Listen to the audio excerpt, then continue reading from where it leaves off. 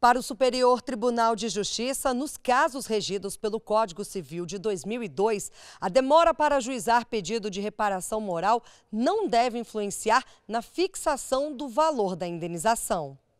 Os ministros da terceira turma do STJ negaram recurso de uma empresa de ônibus que tentava reduzir o valor de 130 mil reais de indenização a ser paga a cada um dos pais de uma vítima que morreu em acidente ocorrido quase três anos antes. O relator, ministro Vilas Boscueva, afirmou que o entendimento da Corte no sentido de que a demora no ajuizamento da demanda deve ser levada em conta na fixação da indenização foi consolidado com base no Código Civil de 1916, que previa prazo prescricional de 20 anos para propor esse tipo de ação. De acordo com o ministro, a demora excessiva nesses casos demonstraria negligência da parte autora e poderia ser considerada como indicador de que os danos morais não teriam a mesma dimensão que em outras situações. No entanto, no caso analisado, o panorama é diferente, já que a morte do filho dos autores da ação